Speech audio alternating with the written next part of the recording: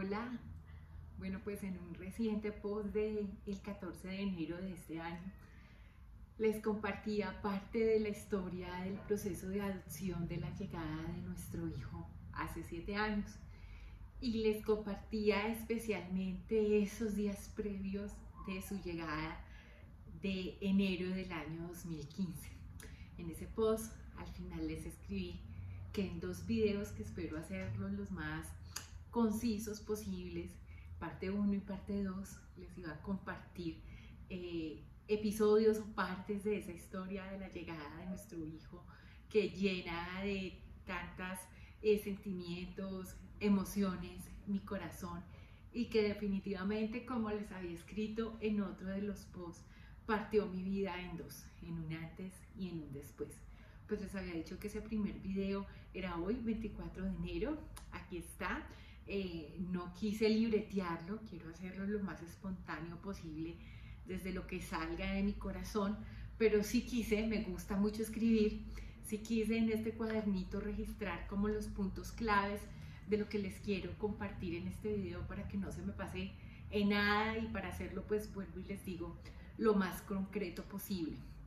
Espero llegue al corazón de muchos, les pueda servir para aquellas eh, parejas o personas, matrimonios, esposos que están pensando en iniciar un proceso de adopción o que esa idea les ha rondado por su cabeza, pero que está llenos de temores, de miedos, de incertidumbres y no se han atrevido a tomar la decisión y dar ese primer paso, pues ese es el objetivo principal de este video. Pues lo primero que les quiero contar es que mi esposo y yo iniciamos el proceso de adopción de nuestro hijo en octubre del 2013.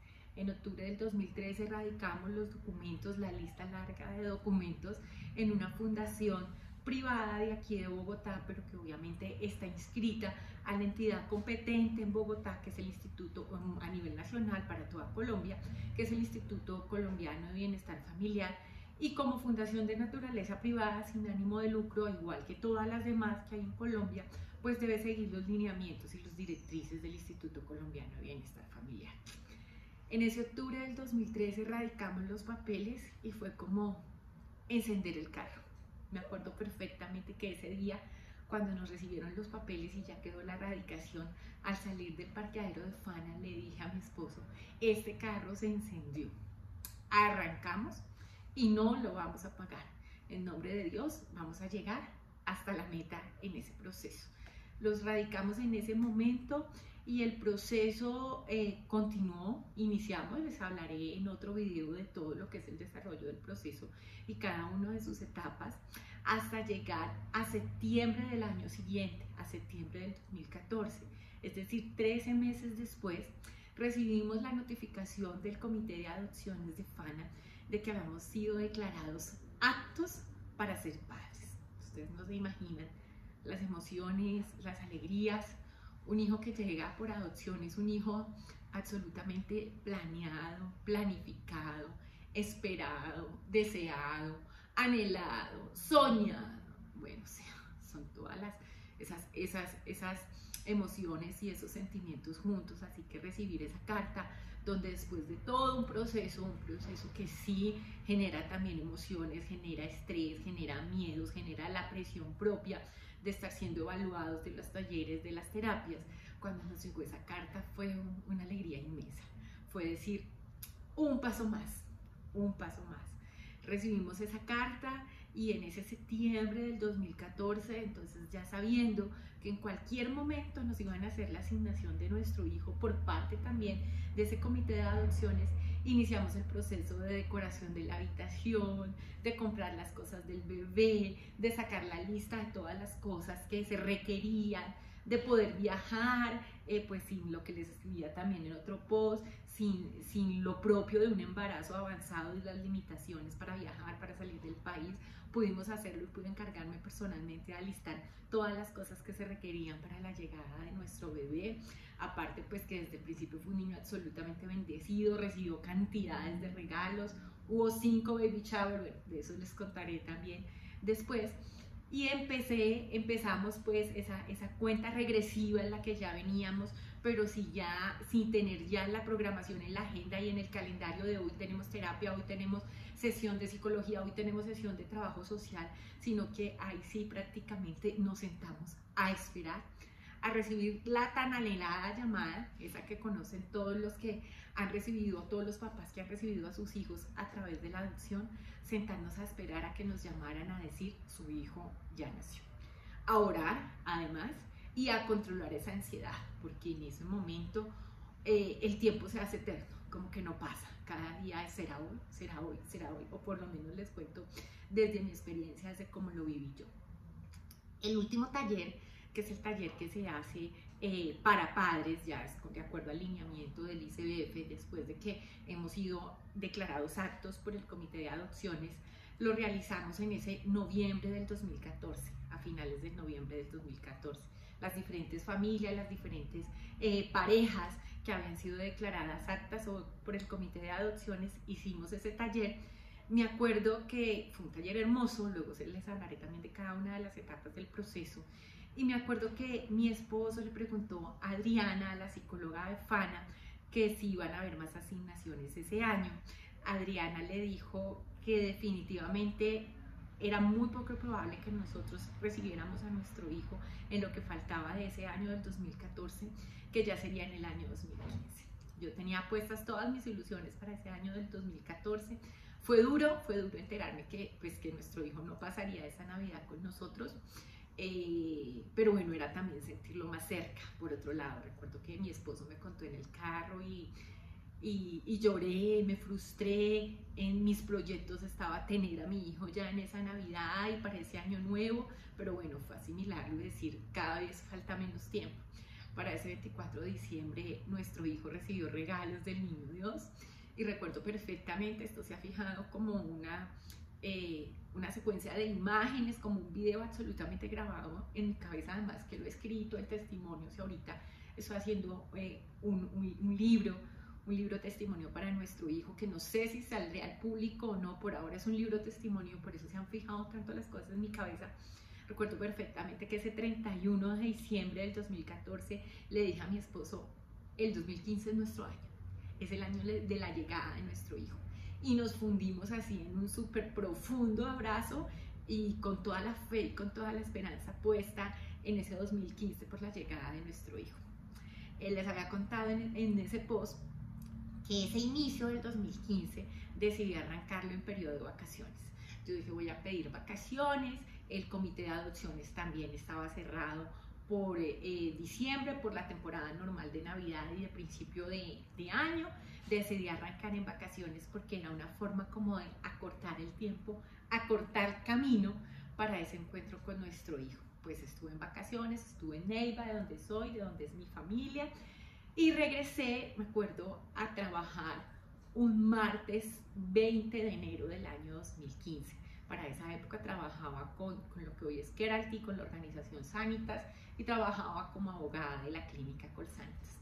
Me acuerdo que ese martes fui a trabajar, eran los días eh, soleados propios de enero en esta ciudad de Bogotá, los que estamos viviendo estos días. Mm, fui a trabajar, era un martes 20 de enero, tenía súper claro que al día siguiente, martes 21, iniciaban nuevamente las sesiones del comité de adopciones y ahí empezaba como mi primer cartucho, mi primera esperanza. ¿Será que mañana nos van a hacer la asignación de nuestro hijo? Era como un conteo regresivo para mí. Fui a trabajar ese martes 20, fui a trabajar ese miércoles 21, mm, sabiendo que ese día se reunía el comité, trabajaba aquí cerca de mi casa en la clínica Reina Sofía en Bogotá, pero también cubría otras clínicas de clínica Colsanitas, entre esas la Clínica Universitaria Colombia. Entonces ese jueves debía ir a la Clínica Universitaria Colombia a trabajar desde allá. Recuerdo que me fui ese día en la mañana para la clínica, estuve trabajando casi todo el día allá, como a las 2 de la tarde ya me regresaba nuevamente para mi casa a almorzar y para salir para la otra clínica que me queda acá cerca de la casa, que es la Reina Sofía. antes de salir de la Clínica Colombia hablé con una amiga, eh, una amiguita que nos ayudó mucho en el tema del proceso y que de hecho fue el primer ángel en el camino que nos hizo el contacto con Fana, con Sandrita. Me preguntó que cómo iba, pues le conté, estuvimos hablando de nuestro hijo, de la espera, de que se aproximaba la llegada, ta, ta, ta. Fue lo último, antes, antes de salir de la Clínica Colombia fue como con la última persona que estuve hablando y ya me subí al taxi y me vine para la casa. Recuerdo que venía en el taxi, estaba haciendo un sol súper fuerte, de esos soles de enero, venía para la casa a, almorzar y a salir para la otra clínica, estaba haciendo un sol tan, tan, tan fuerte que me estaba empezando a doler la cabeza y me tuve como que recostar en el asiento del taxi para que no me doliera la cabeza, pero también pensé que sol tan lindo, esto es un buen preludio venía pensando que el comité había sido el día anterior, ese miércoles, y que no nos habían llamado, dije yo, porque normalmente las llamadas las hacen, el comité se reúne en la mañana y las llamadas las hacen el miércoles en la noche. Yo dije, no nos llamaron, no fue esta semana, no importa, pero ya empiezo el conteo regresivo para la semana siguiente, para el próximo miércoles. Si no fue este miércoles, podrá ser el próximo miércoles.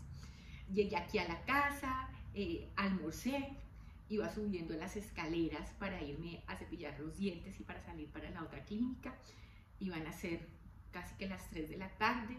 Recuerdo que, que la niña que nos apoya aquí en la casa, que, que Pili, a la que mi hijo le dice eh, estaba en el segundo piso y recuerdo perfectamente que ella de la costa y habían colgadas unas pijamas de tiritas en la cuerda. Y le dije, Pili, pero esas pijamas de tiritas no las va a usar aquí en Bogotá. Entonces le dio risa y le dije, será, la, la iremos a llevar a Neiva cuando llegue Matías. Le dije yo eso. Subí, mm, estaba a punto de cepillarme los dientes cuando el celular que estaba cargando en mi mesita de noche, eh, ustedes dirán, tanto detalle, pero es que lo tengo absolutamente grabado, el minuto a minuto, el segundo a segundo en mi cabeza. Eh, incluso pañuelito por si lo necesito. Eh, recuerdo que mi celular sonó salí del baño a contestar. Contesté, a nosotros sí nos habían dicho que Elena, la directora de FANA, llamaba de un 315, pero esa era una información que nos habían dado desde el año pasado, o sea, a mí me había olvidado el tema del 315 y yo vi un número desconocido y contesté. Cuando contesté, ella me dijo, Ivonne, cuando ella me dijo Ivonne, yo automáticamente reconocí su voz la mente humana es súper rápida. Supe que era Elena y supe que si Elena me llamaba, era para decirme mi hijo. O sea, no había otra razón para que Elena me marcara en ese momento. Entonces yo le dije, sí, hola Elena, soy Ivonne. Ya mi corazón empezó, pum, pum, o sea, ya me aceleré completamente. Recuerdo perfectamente que las palabras que ella me dijo fue, Ivonne, ya nació tu hijo, es un niño de dos meses, pesa tanto, mide tanto, es un niño súper alegre, es un niño muy risueño, divino, te felicito. Ella lo primero que me dijo, me devuelvo un poquito, no fue de dos meses. Ella lo primero que me dijo fue, nació tu hijo, pesa tanto, mide tanto. Cuando ya me dijo de dos meses, porque en realidad nosotros estábamos esperando un niño mayorcito, un niño de más de seis meses, de hecho, toda la ropa que le habíamos comprado y que le habíamos traído y lo que nos había regalado la familia era de nueve meses en adelante. Recuerdo que en Sanitas una compañera me regaló una pijamita de seis meses y yo dije, esta pijamita tan chiquita no le va a servir. Y me dio pena realmente decirle, oye, cámbiamela, no fui capaz, me quedé con la pijamita. Y resulta que era la única pijamita que tenía que le iba a servir para un bebé de dos meses, casi tres. Mm, cuando mi hijo tiene dos meses, yo como que me choqué me choqué y choqué y empecé a gritar, a gritar como una loca, o sea, a gritar de la emoción. Eh, gritaba, Pili, Pili, pero no le decía por qué. Eh, yo estaba en el tercer piso, Pili estaba en el segundo, y ella me decía, ¿qué le pasa? ¿Qué tiene? ¿Qué le pasó? Ella pensó pues que había sido una mala noticia, una noticia catastrófica, pero yo no me podía controlar. Elena entonces me dijo, ¿qué te pasa? ¿Estás bien? Cálmate yo ya ahí como que me calmé, me senté en la cama, me dijo, ¿estás bien? ¿Estás en tu casa? Porque ella dice pues que es parte del protocolo preguntar, porque hay personas que están en la calle, que se pueden accidentar si van manejando el carro, que si van caminando se pueden chocar con algo, se pueden caer, o sea, ustedes no se imaginan el mar de emociones en ese momento. Yo le dije, sí, Elena, tranquila, estoy en la casa, eh, déjame tranquilizo un momento, tomo agua. Y ya empecé como que, Dios mío, nació mi hijo, nació mi hijo. Eh, recuerdo que ella me dijo, ¿estás con, eh, con tu esposo? Yo le dije, no, mi esposo no está, ya le voy a avisar. Ella me dijo, regáleme una llamada cuando él esté contigo, que hay varias cosas que les quiero decir a los dos. Me dijo, ¿cuándo quieren recibirlo? Y yo le dije, ya, hablo con Diego y vamos ya por él. Entonces ella le dio risa y me dijo, no, no se puede, hay varios papeles que firmar, debemos seguir con el proceso y las entregas las hacemos los lunes. Entonces sería la entrega el lunes próximo, que era un lunes 26 de enero. Yo le dije, ok, me acuerdo que me dijo, ¿quieres que te envíe una foto del bebé? Es divino. Yo le dije, no, no, no quiero, no quiero, quiero que esto sea como la llegada de cualquier hijo, a ti no te mandan fotos después, no es como un catálogo en el que tú lo hayas eh, chequeado, Mm, quiero que sea la sorpresa del encuentro, eh, de ese nacimiento para nosotros, porque el nacimiento de nuestro hijo, el encuentro, y que ese sea el momento de esa conexión con él, no quiero ver fotos. Ella me dijo, es súper risueño y hablador, si quieres, ahora voy hasta donde están las cunitas de los bebés, te hago una llamada y te lo pongo para que le hables. Yo le dije, sí, por favor, y me llamas cuando llegue tu esposo. Le dije, listo. Yo colgué, Recuerdo que colgué el teléfono y me arrodillé al lado de la cama. Me arrodillé a darle gracias a Dios y a la Virgencita a la que le había clamado, las que son personas muy cercanas, saben todo lo que anhelamos y clamamos la llegada de este hijo. Lo primero que hice fue arrodillarme a orar, a dar gracias. No podía creer la noticia. Y, llamé a Diego obviamente fue la primera persona que llamé, me, me temblaban las manos, no podía ni, ni, ni, marcarle pues. Y él no me contestó, resulta que él estaba en una reunión. No me contestó, yo dije, bueno, ahora me devuelve la llamada, pero yo estaba con la ansiedad más grande. Le marqué entonces a una de mis hermanas, a la madrina de Matías, y le conté, ya, ya nació nuestro hijo, ya llegó Matías, le dije, y ella ¡ah! se puso a llorar, bueno, o sea, todo lo que eso generó, inmediatamente ella les contó en el grupo de la familia, el celular empezó a sonar una cosa loca, yo no podía parar de llorar y de agradecerle a Dios. Le conté también a una de mis eh, amigas, eh, compañeras cercanas, pues amiga de Sanitas y pues ya por supuesto en Sanitas todo el mundo se enteró, pero eso fue como una noticia que mejor dicho eh, voló, voló mi celular inclusive se me bloqueó porque entraban mensajes, entraban llamadas, entraban mensajes, entraban llamadas, era una cosa impresionante. Yo era lloré y era tratando de asimilarlo, o sea, no lo podía creer, no lo podía creer y no podía creer que tuviera dos mesecitos. Mm, le daba gracias a Dios y le daba gracias a Dios. Eh, después al rato me llamó Elena, me timbró y vi que era Elena. Yo obviamente con la primera llamada grabé su número. Me dijo, aquí estoy, háblale. Yo empecé a hablarle las conexiones en adopción son conexiones que no son de este mundo, definitivamente. Estoy, cada vez que conozco más historias de adopción, porque además eh, me he comprometido con este tema y he venido formándome, no solo como abogada que lleva procesos de adopción, sino en poder brindar a las familias un acompañamiento, una asesoría, una escucha, poder eh, revisar dudas, mitos, tabús, y, ha sido como un proceso permanente de formación en este tema y, la gran parte de la formación ha sido a través de las experiencias y los testimonios de otras familias y pues de expertos también en este tema de adopciones. Mm, y todos coincidimos en lo mismo, es una conexión. O sea, en, en, en, parto natural es lo maravilloso. Aquí es lo maravilloso, obvio, pero definitivamente hay, hay magia, hay cosas hay cosas que, que, no les puedo escribir, que no sé cómo escribirlas, que no tengo palabras para escribirlas. Mm, yo le empecé a hablar, le empecé a hablar por teléfono, le decía, pues, mi bebé, mi muñeco, soy tu mamá, te amo, te he esperado, o sea, todo lo que ustedes quieran imaginar. Muñeco precioso, aquí está mamá, ya voy a ir a encontrarte, ya vamos a estar juntos, ya yo no sé qué. Y este chino ha empezado a hablar una cosa loca. Hablaba, hablaba, hablaba, me contestaba no se callaba y Elena me decía, tú vieras cómo se mueve, cómo mueve las manitos y cómo mueve los pies. Fue demasiado, fue demasiado todo, fue demasiado mágico. Fue como ir al cielo y volver, Dios mío, yo estaba viviendo la plenitud total, estaba viviendo el cielo y la tierra en ese momento. Mm, Diego me llamó después de que colgué con Elena, ya eran más o menos las 5 de la tarde. Diego me llamó porque yo le volví a marcar y entonces él, yo creo que diría, marcándome dos veces porque me está insistiendo tanto, entonces me volvió la llamada. Cuando yo le contesté lo primero que él estaba en una reunión, estaba en una reunión con más gente allí en su empresa, le dije, nació nuestro hijo, tiene tantos meses, mide tanto, pesa tanto, Elena está esperando que tú vengas para que le hagamos una llamada juntos. Él me dice que él quedó en plop, quedó plop, cada persona pues reacciona diferente y, la respuesta frente a sus emociones es, es diferente. Diego me dice que él quedó en ceros, o sea, bloqueado, le acabó la gasolina, se quedó en la reunión, le dijeron, don Diego, ¿qué le pasa?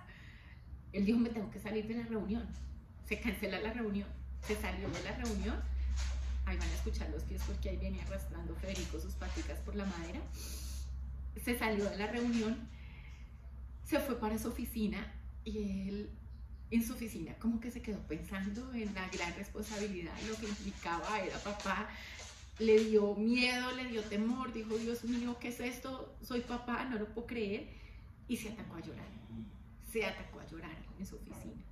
Eh, quedó como tan choqueado que se vino en pico y placa. Ese día el carro tenía pico y placa, o sea, podía salir de su oficina después de las siete y media de la noche por las restricciones de, de movilidad y tránsito que hay en Bogotá. Y a pesar de que estaba en pico se vino, llegó a la casa, no lo paró ningún policía. Llegó sobre las 6 de la tarde. Cuando él llegó, yo ya había, eh, digamos, interiorizado más el tema, ya estaba más eh, calmada, ya había controlado toda esa lluvia de emociones de ese primer momento. Yo lo sentí cuando llegó, iba subiendo las escaleras, yo salí del cuarto a recibirlo, yo ya había dejado de llorar, pero tenía esos ojos, mejor dicho, súper hinchados como dos melones eh, y. Eh, y salí a recibirlo, lo abracé, le dije, nació nuestro hijo, y este hombre se atacaba a llorar, pero una cosa, o sea, se desvaneció, se desvaneció completamente, que se me fue al piso, de que lloraba y lloraba. Ay, Federico, y lloraba, una cosa impresionante. Eh, ya después se controló, nos controlamos los dos, empezamos a hablar de los planes, inmediatamente llamamos entonces a, Elena. Elena ya nos dijo pues qué talla de pañal era el bebé, qué leche, que necesitaba que le lleváramos al día siguiente, que era importante que le pudiéramos llevar algo ya pues como con nuestro olor para que el niño lo tuviera todo el fin de semana y se fuera como eh, familiarizando con, con, nosotros, que al otro día nos esperaban en Fana. Nosotros le dijimos también que si nos podía regalar algo del bebé, un, un babero, un body, una camisetica para podérsela traer a nuestro perrito, a Federico.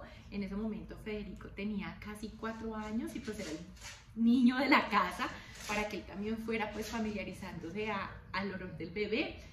Eh, así pasó, obviamente esa fue la primera noche sin dormir, yo no pude dormir, dormía de 20 minutos, de media hora y me despertaba y pensaba en mil cosas y armaba todos los planes, los sueños, los todos, no dormí, no dormía y viene una secuencia de noches sin dormir que después les contaré, porque duré casi ocho días sin dormir hasta que ya entré en, casi me enfermo y entré casi que en depresión hasta que quedé fundida ese día dije qué mala mamá soy, pero luego entendí pues que era toda la reacción del cuerpo y de la necesidad de dormir de todos esos días que llevaba durmiendo casi nada, no dormía más de eh, una o dos horas en la noche. Esa fue la primera noche, empezaron mis noches sin dormir. Esa noche no dormimos, al otro día me fui para la oficina, en la oficina, en la clínica, pues ya todo el mundo sabía, eran felicitaciones, eran abrazos, eran regalos, porque nos llevaron más regalos ese día. Eh, hablé con mi jefe, empecé entonces a hacer la entrega del cargo desde ese día, pues porque salía licencia de maternidad. En Colombia la licencia de maternidad es plena, es como la de un parto biológico. Entonces salía, en esa época eran eh, cuatro meses y medio el término de la licencia de maternidad. Entonces eh, salía la licencia, o eran cuatro meses, bueno, ahora son cuatro meses y medio, creo que era cuatro meses todavía, no estaba la reforma, no lo recuerdo, salía licencia, bueno, en otro video les cuento. sabía que salía la licencia de maternidad. Eh, por la tarde mi esposo me recogió y nos fuimos para Fana. Le llevábamos una cobijita, la decoración de Mati, como les he contado, toda su habitación fue de mono y de toda su ropita, o sea, todo lo que conseguimos de mono se lo compramos. Le llevamos una cobijita de mono y un peluche, su primera cobijita también de mono, mm, perfumado con el olor de Diego y con el olor mío. Yo había dormido eh, con ese peluche esa noche con la cobijita ronchándola para que él sintiera, pues había dormido entre comillas, me había acostado con la cobijita y con el peluche para que él sintiera mi olor. Nos fuimos para FAN, mm, nos hicieron firmar ya ahí unos primeros documentos, lo dejamos, pero fue durísimo, fue durísimo para mí tener que salir de FAN y no poderme traer el bebé. Me acuerdo que estábamos sentados en esa sala eh, con la abogada y con, con Elena y yo quería salir corriendo e irme hasta donde estaban las cunitas y, entre comillas, robármelo y llevármelo y decirme, no, ya no me lo quitan, yo no espero hasta el lunes subirme al carro con él y arrancar. Era una sensación de impotencia, pero también de esperanza, de impotencia, porque me lo quería traer ya, o sea, yo no concebía ir a Fana sabiendo que ahí estaba mi hijo y no poder ir a cargar a mi hijo, ir a abrazar a mi hijo, ir a traerme a mi hijo, no lo, no lo concebía. Pero también era la esperanza de que ya solo faltaban tres días para poderlo tener definitivamente nos dieron el body, en alguno de los posts está también en mi Instagram, arroba Legal Coach, nos dieron un bodycito azulito, una cosita diminuta para que Federico lo oliera, en unas fotos está ahí jugando con el body, con el olor del bebé, nos vinimos para la casa, salí del carro pues ya no atacada llorando, pero sí con las lágrimas de no poderme traer el bebé, pero también con la esperanza de que solo faltaban tres días. Entonces hubo calma, hubo paciencia, hubo fe, ya, ya este regalo es para ti, este regalo es tuyo, espérate tres días más. Nos vinimos para la casa, recuerdo que ese viernes eh, por la noche, entonces nos fuimos a comprar las pacas de pañales, a comprar los pañitos, a comprar la leche. La noche anterior la habitación de Matías estaba toda lista, o sea, la noche del jueves cuando habíamos recibido la noticia ese día, pero Diego después de que hablamos con Elena, de que nos calmamos, de que todos sacamos el inventario de que teníamos, de que nos faltaba, entonces empezamos que le tenemos que comprar de ropa porque el bebé no tiene ropa, eh, la, la cunita estaba tapada con una sábana, Diego le quitó la cobija, lo mismo la mecedora, pusimos el móvil, le pusimos las pilas, sacamos la sillita, al lavar entonces la, la, tina donde le íbamos a bañar, a ponerle tina, a ponerle pilas porque era una tina que le hacía masajes que le había regalado una tía, bueno, en fin, como, como esto que estaba aquí como en el congelador en stand-by, venga, reactivámoslos todos y fue como una lluvia de, de magia y de estrellas, pues eh, retomando todo lo de la habitación del bebé y alistando todas las cosas. Mm, fuimos y compramos los pañales, la leche, los pañitos. Esa noche pues fue la segunda noche también sin poder dormir, sin poder dormir cero, con la ansiedad, con la emoción, con las ganas de verlo, de ya poderlo tener entre mis brazos, de imaginármelo cómo era, cómo era su carita, cómo eran sus orejitas, cómo eran sus ojitos, que estuviera bien, que como decimos todas las mamás, que no le faltara ni una uñita, quería al recibirlo poderlo revisar eh, por todos lados completamente y soñaba con él. Pero era como sentir, Dios mío, esta etapa de sueño, porque había soñado muchísimo con él, esta etapa de sueño ya va a culminar. Ahora sigue la etapa de la realidad, de poderlo tener conmigo. La familia entonces empezó a programarse para venir. Ese día viernes llegó la familia de Neiva por el lado de mi esposo, llegó también mi familia al apartamento de mi hermana que vivía aquí en Bogotá. Mm, una de las cosas buenas de estas fundaciones privadas o de los plus es que te permite ir a un grupo grande a recibir los niños. Bueno, ahora por pandemia pues las condiciones han cambiado completamente, pero nosotros fuimos a recibir a, Matías con un grupo de más de 20 personas. Eh, con bombas, con regalos. Bueno, eso es parte del segundo capítulo, de la segunda parte de, de esta historia.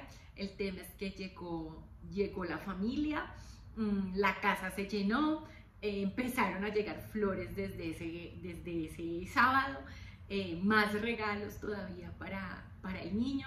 Al día siguiente nos fuimos con Diego ese sábado a comprar cosas en, para el bebé en, un almacén de acá en Pepe Ganga, lo que nos faltaba con la lista, comprar ropa pequeñita porque no teníamos.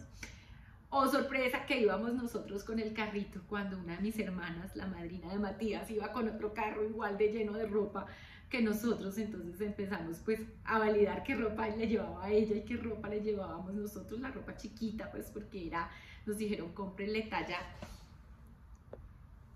nos dijeron me había salido una alerta de batería, ya, ya lo suprimí.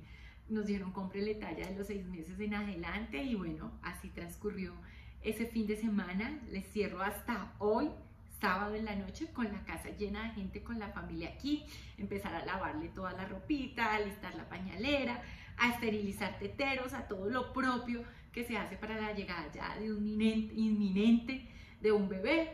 En el próximo capítulo, que es el 26 de enero, o sea, dentro de dos días, eh, el próximo miércoles les contaré la segunda parte y ese momento de la llegada. Mm, ¿Qué les iba a decir? Por, día hoy, fue un lunes fue un lunes a las 11 de la mañana que recibimos a, a nuestro hijo. Por fecha, un miércoles 26 de enero y esa parte se las contaré en el segundo capítulo de